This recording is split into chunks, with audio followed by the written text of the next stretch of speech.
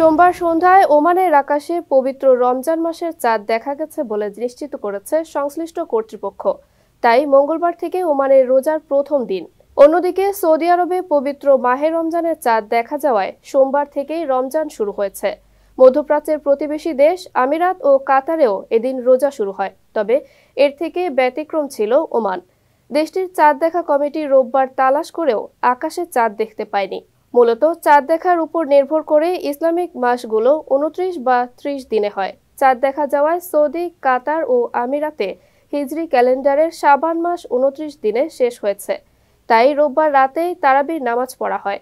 এরপর সোমবার ভোরে সেহরি খেয়ে প্রথম সাওম শুরু করেন দেশগুলোয় বসবাসরত মুসলিমরা। তবে প্রবাসী অধ্যুষিত ওমানে বাংলাদেশের সাথে একই দিন, অর্থাৎ মঙ্গলবার সাহরি করে সাওম পালন করছেন নাগরিক ও প্রবাসীরা।